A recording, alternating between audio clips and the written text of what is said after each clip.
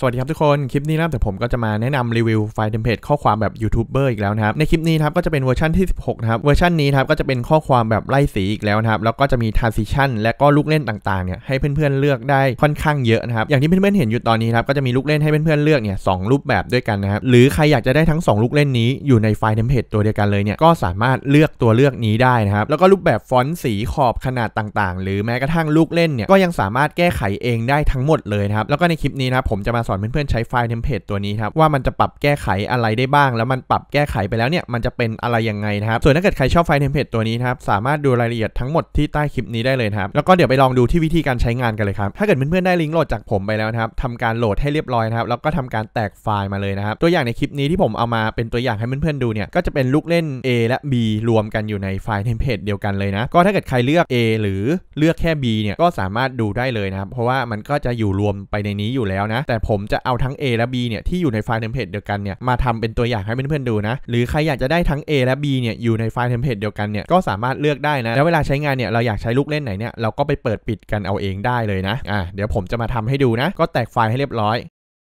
พอแตกไฟล์แล้วเนี่ยก็ดับเบิลคลิกเข้ามานะ ตรงเนี้ยมันก็จะมีโฟลเดอร์2โฟลเดอร์ให้เพื่อนๆเลือกเวอร์ชันโปรแกรมของเพื่อนๆนะ ก็คือให้เพื่อนๆเปิดอ่านที่โน้ตอันนี้ก่อนนะ ว่าเอ่อรายละเอียดยังไงเราควรเข้าโฟลเดอร์ไหนนะ ก็ของผมผมจะเข้าโฟลเดอร์นี้นะ ให้เพื่อนๆทำการอ่านรายละเอียดตรงนี้ก่อนละกันนะ ก็ของผมเข้าที่โฟลเดอร์นี้แล้วก็เข้ามาอีกอ่ามันก็จะเป็นไฟล์เทมเพลตอย่างนี้ใช่ไหมให้เพื่อนๆครับกลับไปเอ่อให้เราเห็นโฟลเดอร์นี้เนี่ยให้เพื่อนๆทำการกด Copy นะแล้วก็มาวางตามที่อยู่ที่ผมขึ้นนะอ่ากด Copy มาวางฝั่งนี้นะของผมก็ตามที่อยู่ที่ขึ้นอยู่หน้าจอนะ แต่ถ้าเกิดใครหาโฟลเดอร์ที่อยู่หน้าจอตอนนี้ไม่เจอเนี่ยก็ไม่เป็นไรนะ เดี๋ยวไปที่โปรแกรม Premiere Pro นะ ผมจะลบตรงนี้ก่อน แล้วเดี๋ยวผมจะไปลงอีกวิธีหนึ่งให้เพื่อนๆดูนะ ที่โปรแกรม Premiere Pro ได้เลยนะ ไม่ว่าจะเป็นฝั่ง Mac หรือฝั่ง Windows นะ ไปที่โปรแกรม Premiere Pro ได้เลยนะ พอมาที่โปรแกรม Premiere Pro นะครับ ให้เพื่อนๆมาที่แท็บกราฟิกตรงนี้ได้เลยนะ ด้านบนนะ แล้วก็อ่ามันจะมี Essential Graphic ด้านข้างตรงนี้นะ แล้วก็ไปเปิดไฟล์เทมเพลตที่โหลดมาเมื่อกี้นี้นะครับ อ่าแล้วก็เข้ามาในไฟล์เทมเพลตโฟลเดอร์นี้นะ ลากโฟลเดอร์นี้ ลากคลุมทั้งหมดทุกตัวนะ ไฟล์เทมเพลตลากคลุมทั้งหมด แล้วก็ให้เพื่อนๆลากมาใส่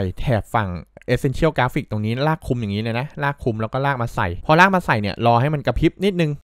ปุ๊บ อ่า มันโหลดมาแล้ว แล้วก็มันก็จะอยู่ล่างๆ อ่า นี่ครับ ไฟล์เทมเพลตมาแล้ว ก็จะเป็น text V 16.1 จุด1 A บวก B ก็คือมี 2 ลูกเล่นอยู่ในไฟล์เทมเพลตนี้นะ แต่ถ้าเกิดใครเลือกแค่ลูกเล่น A เนี่ย มันก็จะมีแค่ตัว A อย่างเดียวนะ แล้วมันก็จะมีปรับแก้ไขได้แค่ลูกเล่น A นะ ก็วิธีใช้งานเนี่ยก็คือลากลงมาที่ไทม์ไลน์ของเราได้เลยอย่างนี้ อ่า แล้วเพื่อนๆก็ อ่า อย่างที่ผมแนะนำไปในคลิปก่อนๆ ทุกคลิปนี่แหละ ผมอยากจะแนะนำให้เพื่อนๆลากลงมาที่ไทม์ไลน์ของเราทั้งหมดนะ ลากมาให้หมดนะ อ่า แต่ผมอาจจะลากมาไม่หมดนะ ก็คือให้เพื่อนๆลากมาให้หมดเนี่ยแหละ แล้วเพื่อนๆก็กดที่ตัวมันนะครับ แล้วก็มาที่แถบ edit ตรงนี้นะ มันจะมีให้เราแก้ไขเนี่ย ผมอยากจะแนะนำให้เพื่อนๆแก้ไขทุกสิ่งทุกอย่างที่เพื่อนๆอยากแก้ไขเนี่ยเสียเวลาครั้งแรกครั้งหนึ่งเนี่ยแล้วเพื่อนๆก็แก้ไขไปในทุกตัวนะแก้ไขทุกตัวให้เหมือนกัน หรือแก้ไขอย่างที่เพื่อนๆต้องการเนี่ยเพราะว่าบางคนเนี่ยอาจจะไม่อยากได้ฟอนต์อย่างที่ผมเลือกไปให้ ไม่อยากได้สีอย่างที่ผมเลือกไป ไม่อยากได้ขนาดขอบเท่านี้ เราก็ปรับแก้ไขทั้งหมดเป็นรูปแบบของเรานะพอเราปรับแก้ไขทั้งหมดเนี่ยให้เพื่อนๆทำการ render นะ render ก็คือการกด enter เนี่ยกด enter ขึ้นมาให้ไทม์ไลน์มันเขียว พอมันเขียวเนี่ยเราก็เล่นได้อย่างลื่นๆนะพอเราเล่นได้อย่างลื่นๆเนี่ยตรงเนี้ยเราจะทำเป็นต้นแบบมันนั่นเองนะอะ ทำเป็นต้นแบบก็คือเนี่ยสมมุติเราทำเป็นต้นแบบเราลากลงมาไทม์ไลน์ทั้งหมดแล้ว ตรงเนี้ยเป็นต้นแบบต้นแบบหมายความว่าเวลาเราจะใช้งานเนี่ยเราจะก๊อปจากตัวที่ไทม์ไลน์ของเราไปใช้งานนั่นเองนะ เพราะว่าเราได้แก้ไขไปหมดแล้วนะ ถ้าเกิดเพื่อนๆเวลาจะใช้งานเนี่ยแล้วเราลากตรงนี้ตลอดเนี่ยเวลาเราลากมาใช้งานเนี่ยเราก็ต้องมาแก้ไขรูปแบบฟอนต์อย่างที่เพื่อนๆต้องการอีกครั้งหนึ่งอยู่ดีนะอ่าผมก็เลยแนะนำให้เพื่อนๆลากลงที่ไทม์ไลน์ของเรา แล้วก็แก้ไขทั้งหมดแล้วเวลาใช้งานเนี่ยเราก็ก๊อปจากที่เราแก้ไขไปวางอ่าสมมติก๊อปตัวนี้กด Ctrl C แล้วก็เวลาเราจะใช้งานที่อื่นเนี่ยเราก็อะสมมติตรงเนี้ยเราอยากวางเราก็วางกด Ctrl V แล้วก็เราก็กดที่ตัวมันแก้ไขแค่ข้อความ เพราะว่ารูปแบบเนี่ยเราแก้ไขไปหมดแล้วใช่ไหมอ่าก็แค่นั้นอันนี้คือข้อแนะนำจากผมไว้นะอ่าแล้วก็มาดูที่การแก้ไขตั้งค่าของมันนะ มันแก้ไขอะไรได้บ้างกดที่ตัวมันครับก็ตรงนี้ก็คือแก้ไขข้อความข้อความที่เราอยากจะใส่ไปนั่นเองนะ เป็นคำเซลเป็นคำอะไรเราก็ใส่ไป แล้วก็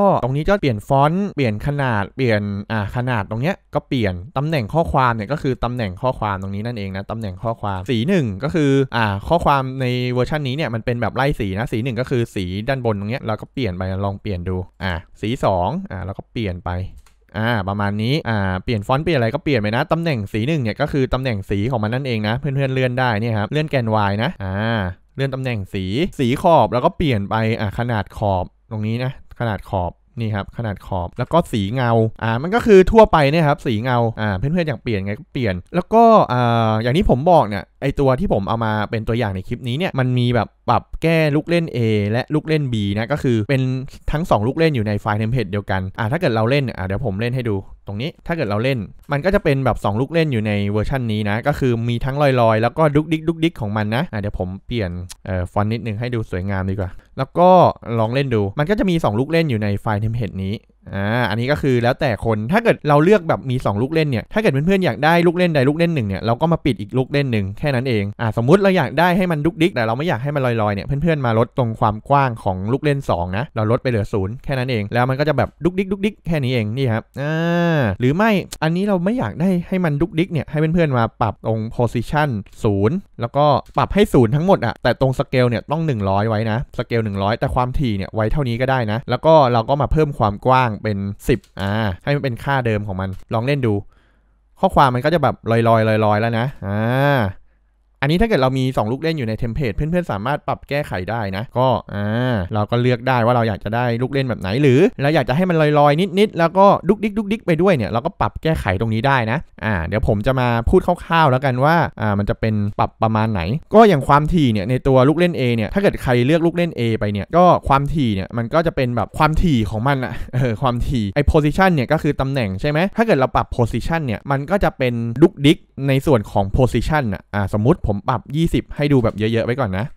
อะ มันก็จะดุกดิกแบบ เอ่อมันจะเลื่อนแต่ละตัวเนี่ยดุกดิกเป็นในส่วนของตำแหน่งมันอะ อ่า ผมก็บอกไม่รู้จะพูดยังไง อ่ามันจะดุกดิกประมาณเนี้ย เนี่ยอ่าถ้าเกิดเราเพิ่มความถี่เนี่ยมันก็จะดุกดิกถี่ขึ้นอะอ่าแล้วก็มาดูในส่วนของสเกลอ่าผมลบเหลือศูนย์ของ position ไปก่อน ตรงสเกลเนี่ยถ้าเกิดร้อยหนึ่งเนี่ยมันคือปกติ ถ้าเกิดเราเพิ่มไปร้อยยี่สิบเนี่ยมันก็จะดุกดิกแบบเป็นสเกลอะเดี๋ยวผมเล่นให้ดูดุกดิกแบบสเกล ก็จะเป็นเนี่ยมันก็จะเด้งจากเล็กไปใหญ่เล็กไปใหญ่เล็กไปใหญ่ใหญ่ไปเล็กอย่างเงี้ยมันก็จะดุกดิกในแนวนี้นั่นเอง ไอความถี่เนี่ยมันเหมือนเป็นภาพกว้างของมันว่าจะให้มันทำงานเท่าไหร่ แต่ไอตัว position scale skill rotation เนี่ยมันเหมือนกับว่าให้มันดุกดิกแบบไหนอ่ามันให้มันดุกดิกแบบไหน ให้มันดุกดิกแบบเป็นตำแหน่ง ให้มันดุกดิกแบบเป็นขนาด ให้มันดุกแบบเป็นความเฉียง ให้มันดุกดิกแบบเป็นหมุนอ่าถ้าเกิดเราเลือก rotation เนี่ยมันก็จะเป็นแบบดุกดิกแบบหมุนอ่าสมมติผมปรับไปที่ 15อ่ามันก็จะดุกดิกแบบหมุนน่ะเพราะว่าตามชื่อมันนั่นเองนี่ครับ ดุกดิกแบบหมุน เพื่อนๆสามารถปรับทีละนิด ปรับนิดๆหน่อยๆ ตัวนู้นนิดตัวนี้หน่อยเนี่ยได้หมดนะ อย่างเช่น ผมปรับตรง position 5 แล้วก็ rotation ผมปรับ 2 skill ผม 2 ไอ้ scale เนี่ยผม 105 เนี่ย เพื่อนๆสามารถปรับได้ลองเล่นดูว่าเราชอบค่าไหน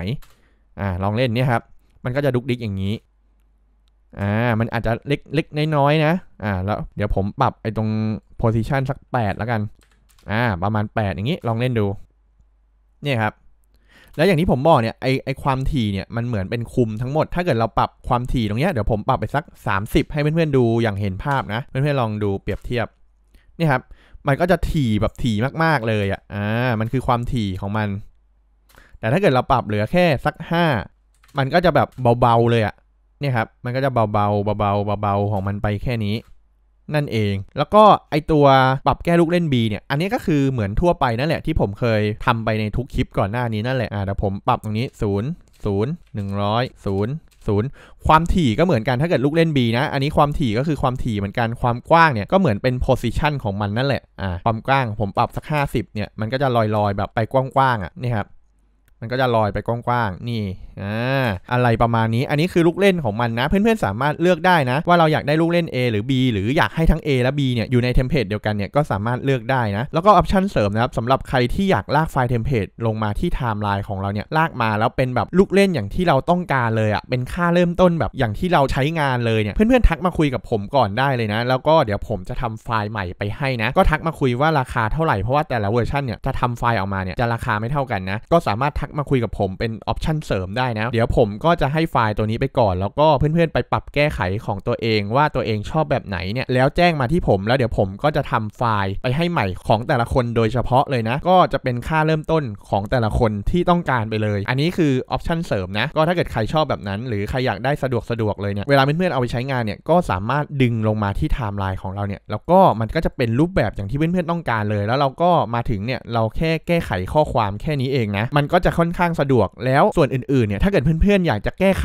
อีกเนี่ยก็ยังสามารถแก้ไขได้เหมือนเดิมทั้งหมดเลยนะ ตรงเนี้ยก็ยังสามารถแก้ไขได้เหมือนเดิม แต่แค่ผมจะเปลี่ยนค่าเริ่มต้นตรงเนี้ยไปให้เพื่อนๆใหม่แค่นั้นเองนะก็สามารถทักมาพูดคุยกันก่อนได้นะก็ถ้าเกิดใครสนใจไฟล์เทมเพลตตัวนี้นะครับสามารถดูรายละเอียดทั้งหมดที่ใต้คลิปนี้ได้เลยครับหรือใครสงสัยอะไรตรงไหนสามารถทักมาพูดคุยกับผมก่อนได้นะว่าอยากจะได้ตัวเลือกอะไรยังไง อยากจะได้ลูกเล่นแบบไหนอะไรเงี้ยทักมาคุยกับผม หรือทักมาจ้างผมเป็นรูปแบบที่ตัวเองต้องการเจอแบบไหนมาชอบแบบไหนเนี่ยทักมาให้ผมทำก็ได้นะ ก็ลองทักมาพูดคุยกันก่อนก็ได้นะสำหรับคลิปนี้ก็ประมาณนี้แล้วกันครับ ถ้าใครชอบคลิปนี้นะฝากกดไลค์กดแชร์กด subscribe แล้วก็อย่าลืมกดกระดิ่งให้ผมด้วยนะครับ คลิปนี้ก็เอาไว้เท่านี้นะครับ ไปแล้วครับ สวัสดีครับ